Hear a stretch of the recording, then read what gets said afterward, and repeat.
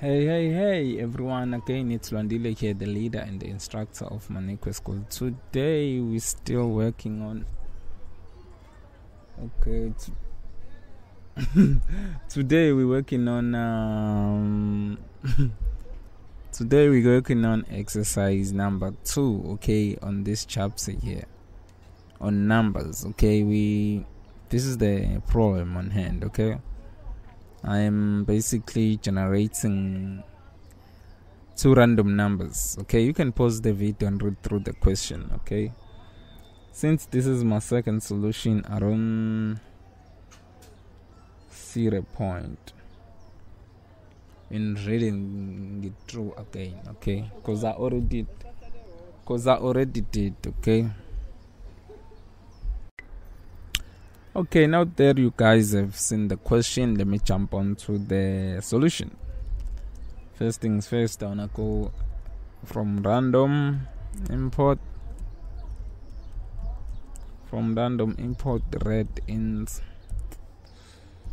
Um, I'll then go x is equals to is equals to just like before. I randint three point six then I go y equals to red ends.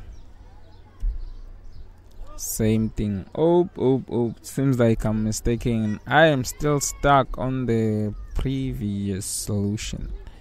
Okay what I wanna have there is numbers from 1 up to 50 and right at the bottom I need numbers from 2 up to 5 inclusively. Okay so I'll simply go um, x equals to x.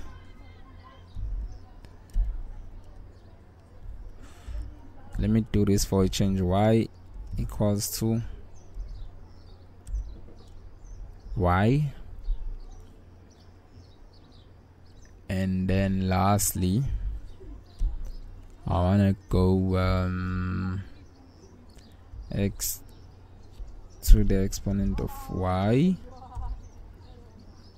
is equals to x y.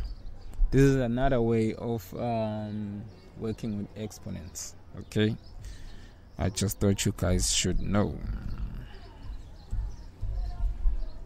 Now let's hit the run button and see what we get okay okay what problem was it? Was it the second one? Yeah it was.